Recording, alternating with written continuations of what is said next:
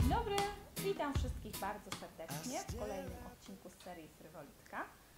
I jako, że nie widzieliśmy się już jakiś czas, ponieważ teraz e, jest ciepło na dworze, czyli bardziej więcej czasu spędzam na dworze i mniej czasu mam e, na, na, na dziubanie mojej frywolitki, także tych wzorów przez lato podejrzewam, że będzie trochę mniej. Ale dzisiaj przygotowałam dla Was taki uniwersalny e, wzór, którego można zrobić różne rzeczy. Można zrobić e, serwetkę, e, taką podkładkę pod kubek, można zrobić sobie kwadratową podkładkę pod kubek, można zrobić sobie z tego wzoru także jakąś większą serwetkę kwadratową lub prostokątną. A ja dla Was zrobiłam zakładkę do książki z tego samego, e, sa- samego elementu, który Wam, który Wam dzisiaj zademonstruję i pokażę Wam tylko szybciutko, jak wygląda tak mniej więcej ta zakładka. Ta zakładka wygląda o właśnie tak, z takim zakończeniem. Jest ona tutaj e, zrobiona z nitki e, o grubości 10, ale ja na filmiku Wam będę pokazywać nitkę o grubości 20 cieńszą, także ta zakładka wyjdzie trochę mniejsza.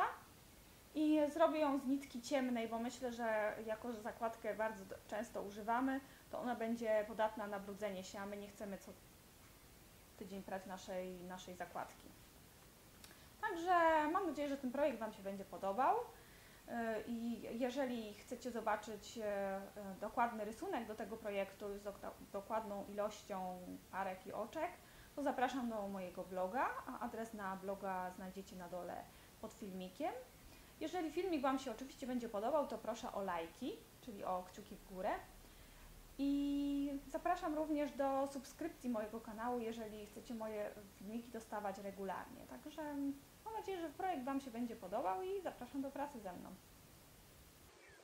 A więc e, przystąpmy do naszego projektu.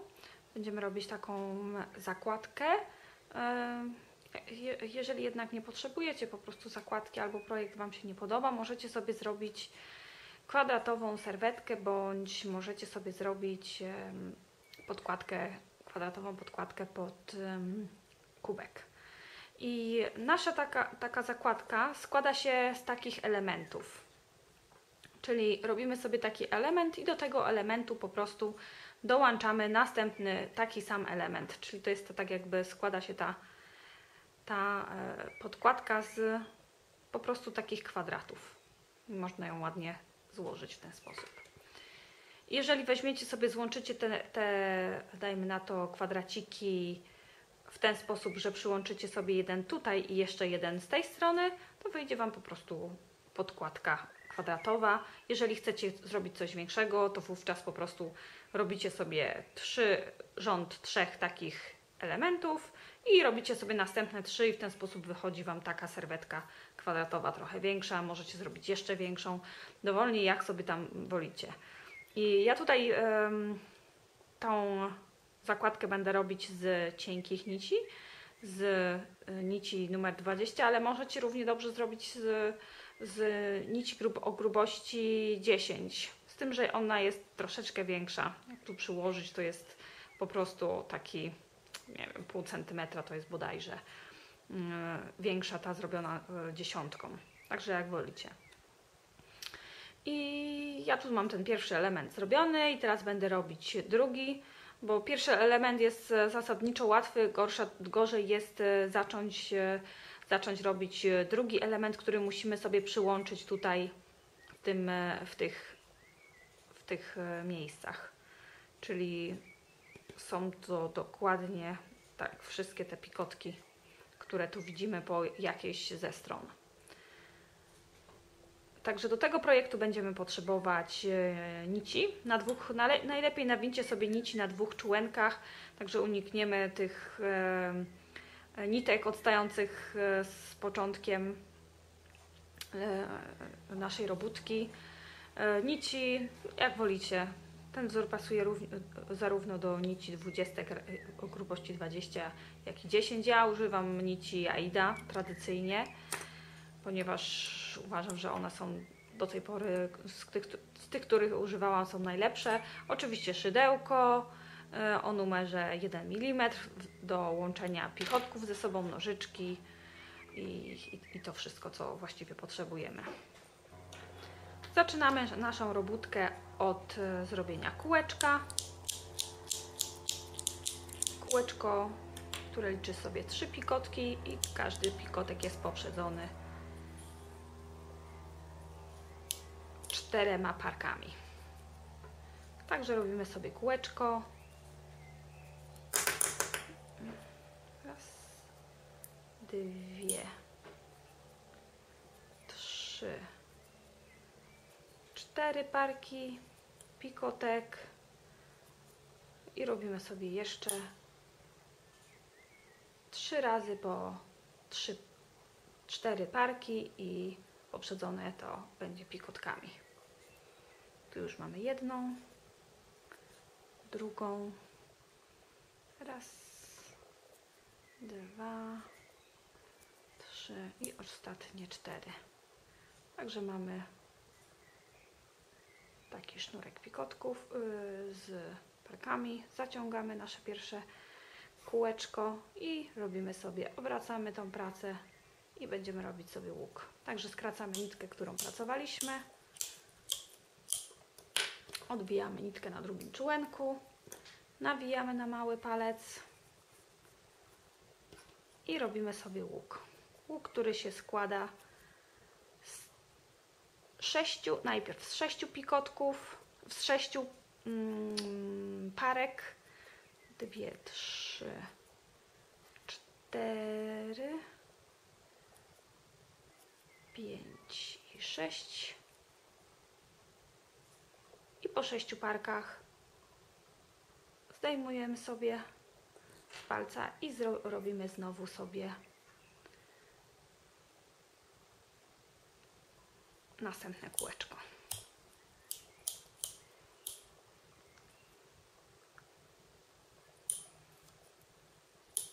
I to kółeczko składa się e, z takiej samej ilości parek i pikotków, czyli robimy sobie kółeczko identyczne do tego pierwszego. Jeden, dwa, trzy, cztery, pikotek.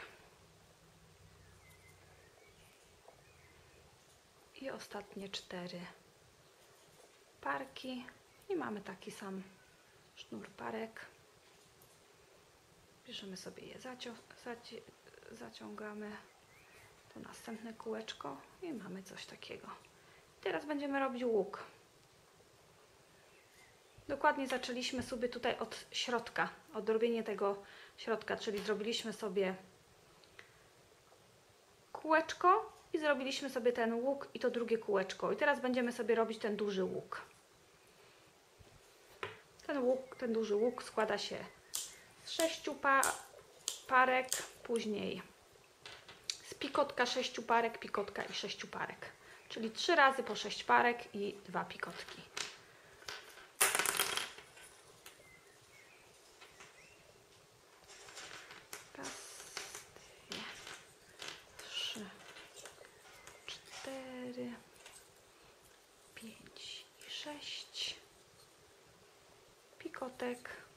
I tak kontynuujemy. I mamy nasze sześć, e, ostatnie sześć parek zrobione i dwa pikotki. I obracamy sobie znowu naszą pracę i robimy takie samo kółeczko, które sobie połączymy. To, kół, te, to kółeczko tym razem połączymy sobie razem z tym kółeczkiem poprzednim, czyli pierwsza parka, druga, trzecia, czwarta. Łączymy sobie.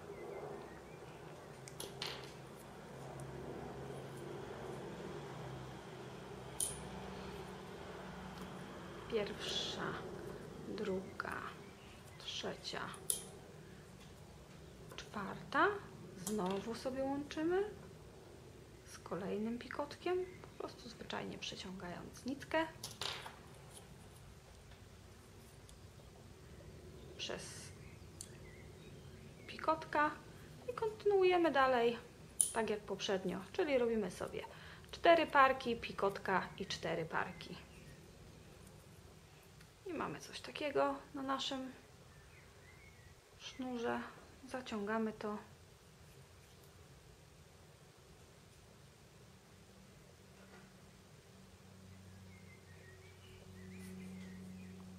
I znowu odwracamy naszą pracę. I będziemy teraz robić łuk. I ten łuk będziemy już dołączać do naszego poprzedniego elementu.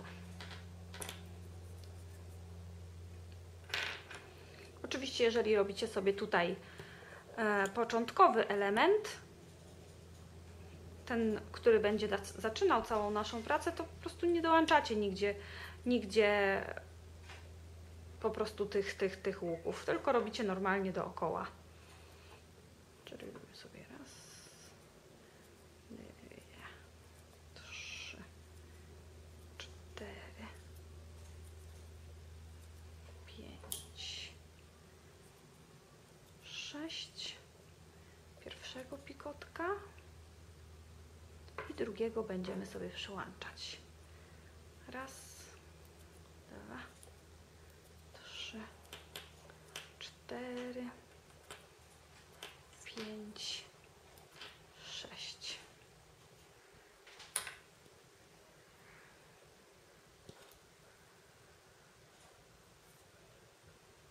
I przyłączamy sobie. Przyłączamy sobie do tutaj tego ostatniego pikotka tego elementu. Nie wiem, czy to jest dobrze widoczne, bo rywolitka jest czarna i czarny zawsze jest mniej widoczny. Nie wiem, czy jest dosyć światła teraz.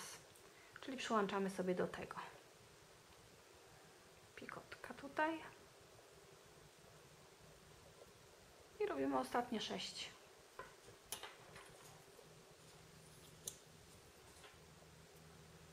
Sześć parek. Raz, Skończyliśmy nasz łuk. Odwracamy sobie naszą pracę. Mieliśmy ją tak, obracamy ją w tą stronę i robimy sobie kolejne kółeczko. Kółeczka wszystkie w tej, w tej robótce są takie same, czyli nie musicie się zastanawiać, ile one tam mają tych parek i pikotków. Zawsze mają cztery parki i są tutaj trzy pikotki, jeżeli nic nie dołączamy. Trzy, cztery i oczywiście dołączamy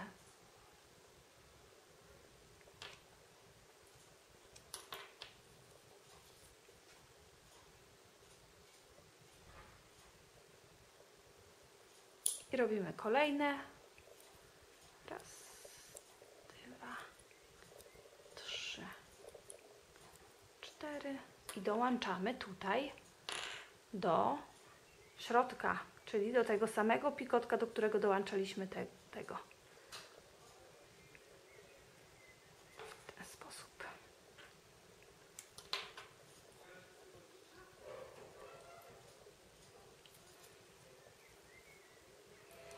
I kończymy tak samo jak tego poprzedniego. Robimy cztery parki, pikotka i cztery parki. Mamy ostatnie nasze ostatnie cztery parki zrobione. Zaciskamy nasze kółeczko. Wygląda to mniej więcej w ten sposób teraz. I znowu robimy sobie łuk. Czyli obracamy naszą pracę. Nawijamy tą nitkę z tego palca. Robimy sobie 6 parek, dołączamy do następnego pikotka, tego tutaj. Raz, trzy, cztery.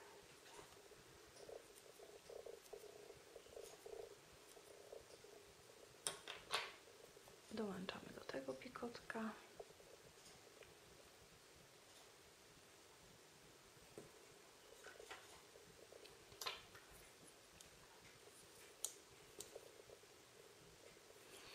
Kontynuujemy, robimy sobie re- resztę łuku. Już bez przyłączania go. Czyli następne 6 parek, pikotek i 6 parek. Jak już mamy nasz łuk cały zrobiony, ostatnie 6 parek, obracamy naszą pracę i robimy kółeczko. Ostatnie kółeczko do tego tutaj elementu. Czyli to kółeczko liczy sobie taką samą liczbę parek, z takim wyjątkiem, że będziemy przyłączać wszystkie pikotki. Czyli nie robimy żadnego pikotka, tylko wszystkie będą przyłączone.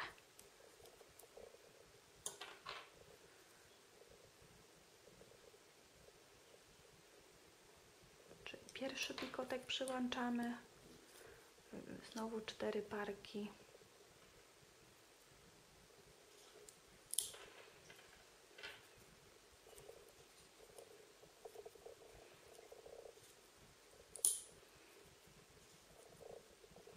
Przyłączamy drugi pikotek do środeczka tutaj.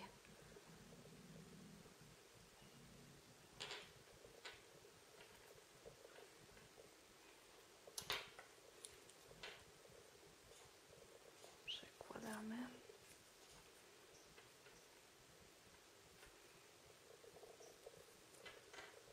Cztery parki.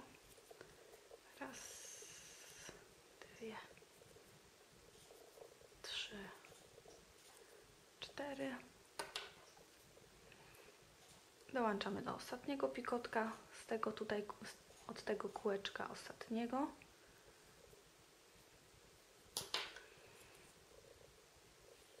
Robimy ostatnie cztery parki.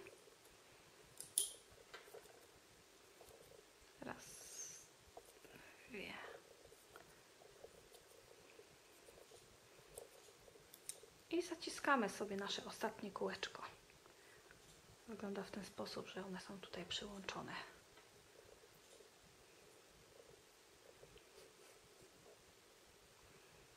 I w ten sposób mamy nasz pierwszy element zrobiony.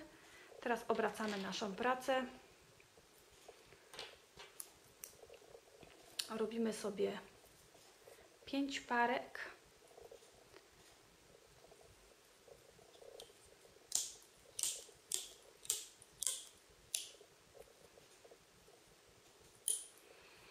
Czyli raz, dwie, trzy, cztery, pięć. Obracamy naszą pracę i dołączamy, robimy sobie kółeczko, które dołączamy do tego elementu tutaj wewnętrznego. Takie same kółeczko jak wszystkie, czyli cztery parki. Raz, dwie, trzy, cztery. Dołączamy do tego pikotka.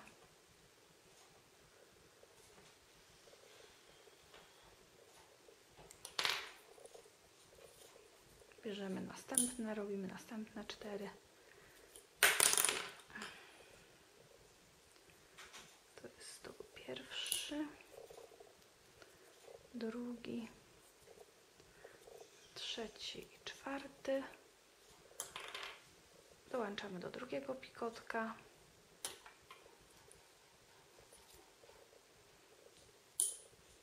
I kończymy czterema parkami, pikotkiem i czterema parkami. Zaciągamy to nasze drugie kółeczko i teraz obracamy naszą pracę i zaczynamy tak jakby wszystko od nowa. Tak jak, za, taki, taki jak był nasz początek, robiliśmy kółeczko, łuk, to teraz mamy już to kółeczko zrobione. Robimy łuk, który liczy sobie 5 parek. To pokażę może na tym przykładzie. Jesteśmy teraz w tym, tym momencie. Zrobiliśmy sobie na początku to kółeczko, tak jak widzimy tutaj. Pojechaliśmy sobie ten element dookoła i zrobiliśmy sobie to drugie kółeczko. Czyli teraz będziemy wracać, będziemy robić sobie ten łuk, który składa się z pięciu parek i będziemy sobie robić to kółeczko,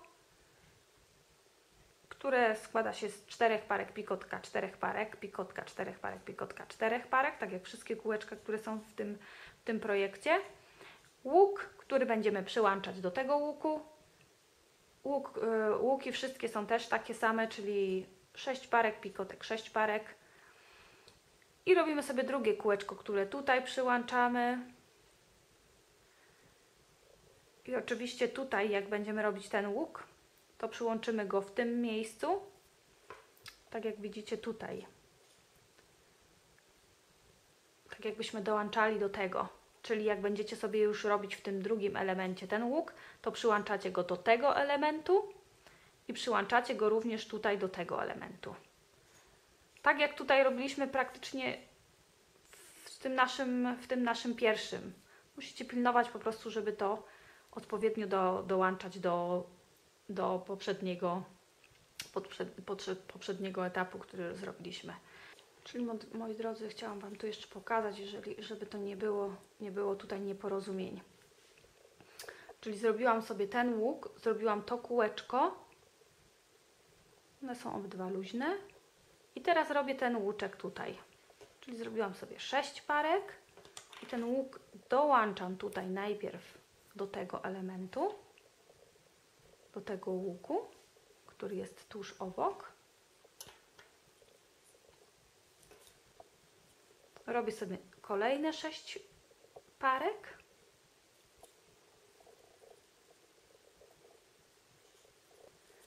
Pięć i sześć. I teraz te następne, następnego pikotka dołączam sobie do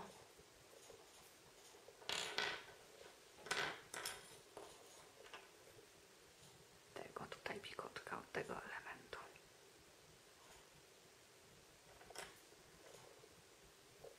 I kontynuuję do końca. Robię 6 parek, robię kolejne kółeczko.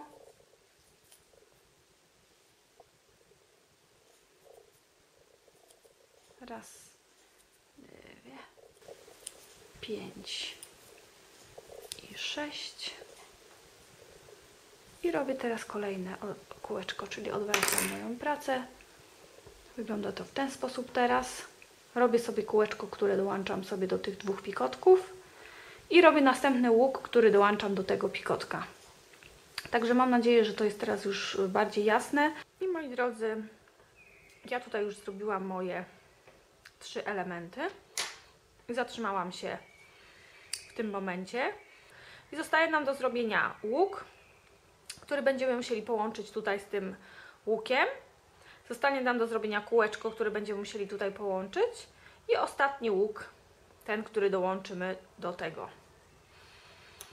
Także ja Wam pokażę, bo tutaj jest, możecie mieć problem z, z zrobieniem, może z połączeniem tego, nie wiem, zależy pewnie jak jesteście zaawansowani.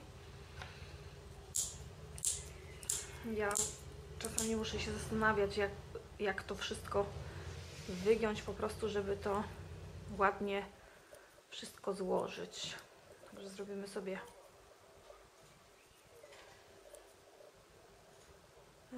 to jest 4 5 i 6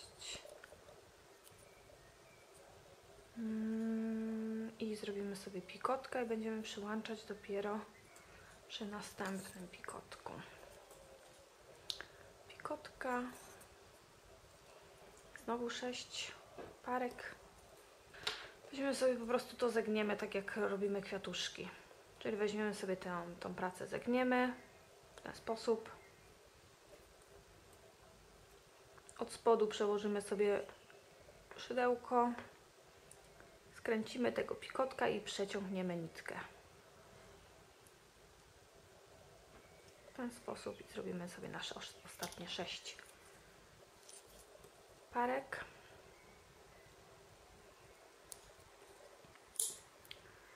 czyli jedna, druga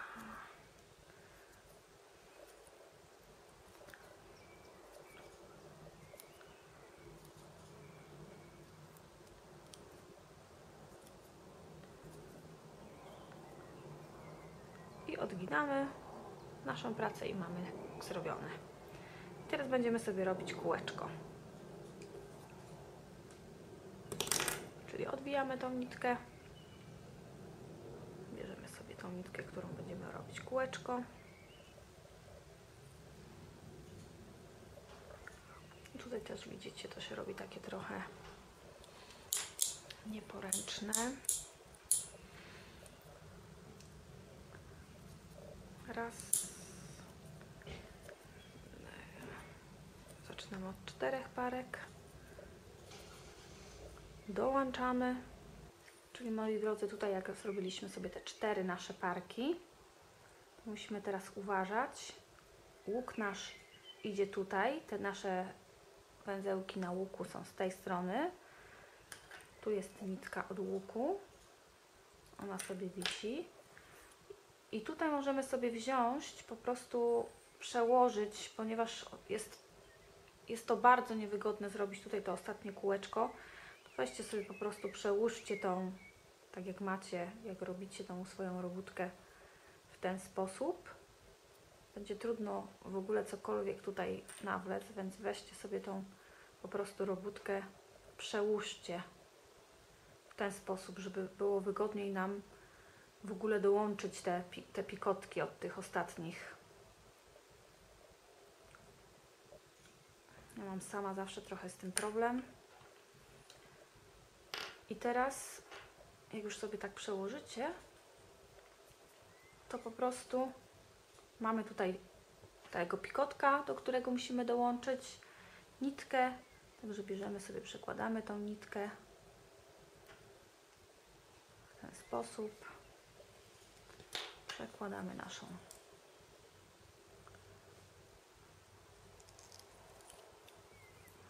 w ten sposób i mamy już dalszy ciąg. Teraz oczywiście możemy sobie to z powrotem wypchnąć i robimy nasze kolejne cztery parki i będziemy do środka dołączać. Raz, dwie, trzy i cztery. Dołączamy sobie do środka.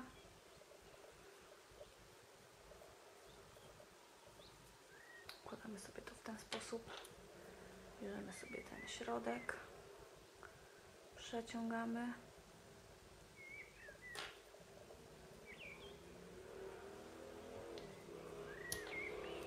Robimy kolejne cztery.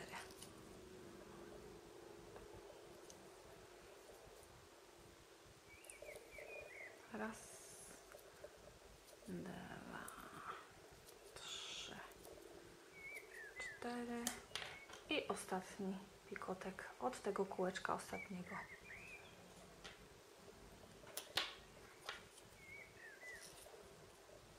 I ostatnie cztery.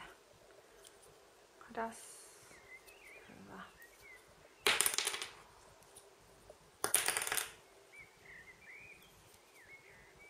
trzy i cztery. I w ten sposób mamy nasze ostatnie kółeczko zrobione. Są, sobie tą naszą plątaninę w ten sposób. Składamy sobie to razem, żeby ładnie to się nam zaciągnęło i zaciągamy. I tak mamy nasze ostatnie kółeczko zrobione. I teraz został nam tylko ten łuk. Ten ostatni łuk. Tu liczy sobie 5 parek. Także obracamy tą naszą pracę. Tutaj mamy ten, obracamy ją tyłem, a tu mamy tą naszą właściwą część, czyli ją tak po prostu sobie złożymy i będziemy robić, bierzemy drugie członko, będziemy sobie robić łuk.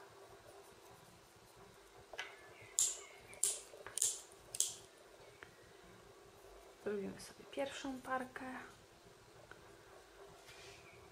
I może tutaj zastosujemy sobie nasze chowanie nitki. Czyli weźmiemy sobie sznurek dodatkowy, złożymy go na pół, czarny, złożymy go na pół, żeby było takie oczko. Przyłożymy go do, po prostu go sobie przytrzymamy na początek. W ten sposób, niech on sobie wisi. My będziemy robić nasze parki, wra- wyrabiając ten sznurek. Czyli robimy sobie pierwszą część parki i ten sznurek tu wskakuje w, możemy go sobie skrócić, jak myślimy, że będzie nam wygodniej. Możemy sobie pomóc szydełkiem. Chwytamy sobie. To jest ta sama zasada jak przy tych innych zakończeniach. I dobrze sobie zaciskamy. Robimy drugą część. Znowu tam wrzucamy tą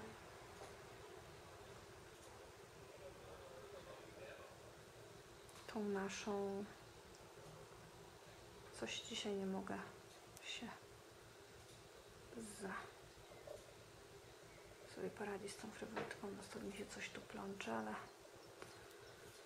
myślę, że damy radę na końcu.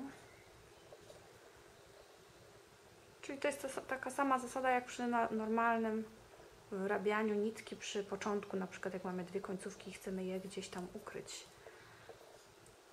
Czyli chowamy ten, tą nitkę.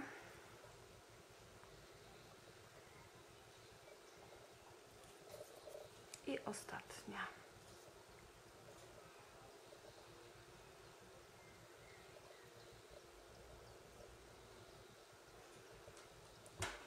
W ten sposób mamy nasz ostatni łuk zrobiony.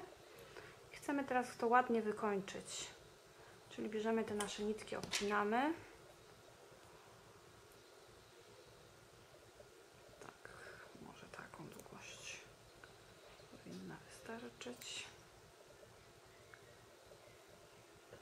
Czyli wiążemy je jakoś ładnie, przekładamy tutaj przez to kółeczko.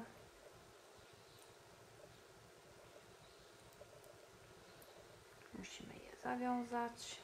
Ładnie tutaj próbujemy wcisnąć po prostu to między dwie parki, tak żeby było jak najmniej te, te nitki tutaj, te wiązania widoczne. Wtedy będzie to wyglądać ładnie i estetycznie. Co nie jest łatwe. Ja sama osobiście nie mam jednego sposobu wiązania. Zawsze próbuję różnych sposobów.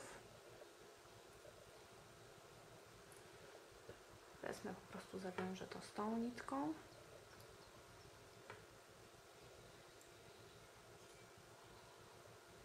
Na dwa supełki. I spróbujemy tą nitkę teraz ładnie przeciągnąć. Czyli bierzemy obydwie nitki, przekładamy je przez to oczko.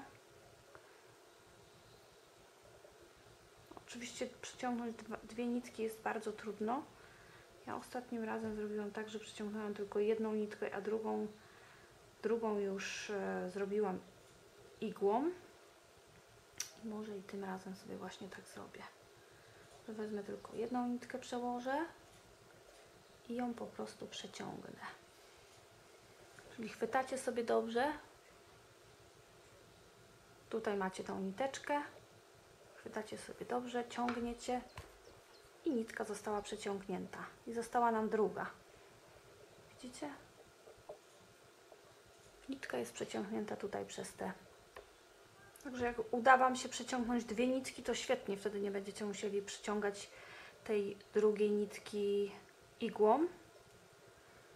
To jest ta, którą będziemy musieli igłą przeciągnąć. Ja biorę sobie moją igłę, która jest tutaj rozdwojona na, na samej końcówce, także będę mogła sobie ładnie po prostu wcisnąć tą nitkę. Nie będzie tutaj żadnego przekładania przez. O, I już. No i teraz powolutku sobie będę po prostu tutaj wdziergiwać to w każdą parkę pojedyncze. Czyli widzicie, chwytam sobie po prostu tą parkę i przeciągam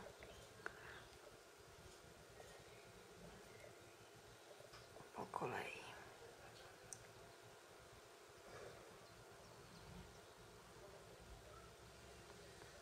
Kolejną parkę. Jest to bardzo, bardzo ciasno. Także trzeba się troszeczkę nagimnastykować. Kolejną parkę. Zostawcie sobie trochę dłuższą nitkę, bo widzicie, że ja już tutaj ledwie, ledwie.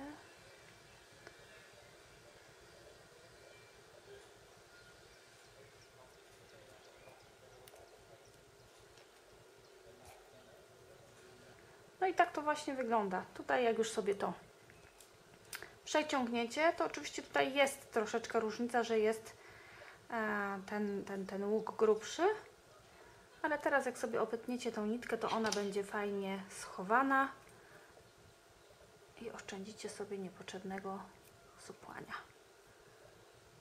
Także wygląda to mniej więcej w ten sposób.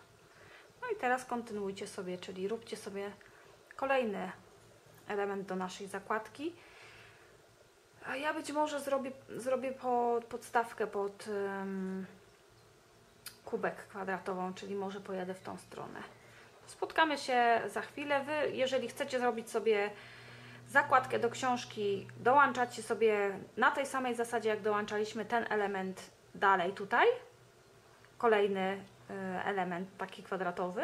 Jeżeli chcecie sobie zrobić e, podkładkę e, pod kubek, to w takim razie sobie to obracacie i dołączacie sobie z tej strony. Dwa dodatkowe elementy. Nasza końcówka do zakładki, tutaj mam tą końcówkę, ona wygląda w ten sposób i zaczynamy sobie po prostu robić od tego kółeczka tutaj z zewnątrz, robimy sobie łuk, który dołączamy, robimy sobie kółeczko na łuku i do tego celu też sobie weźcie nawincie po prostu nitkę na dwa członka, żeby była jedna nie była przerwana, tylko jedna e, nitka wychodziła z jednego członka, druga z drugiego, wtedy uni- unikniecie również niepotrzebnych supełków.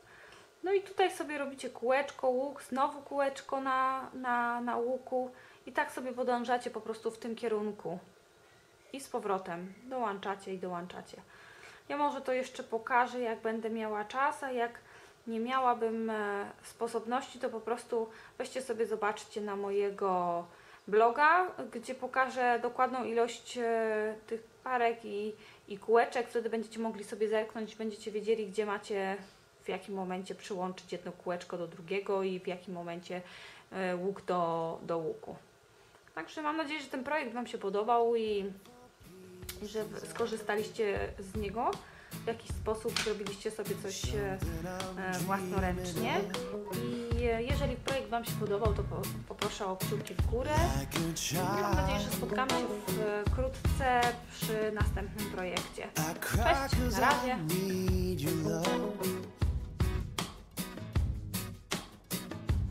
And I try to stay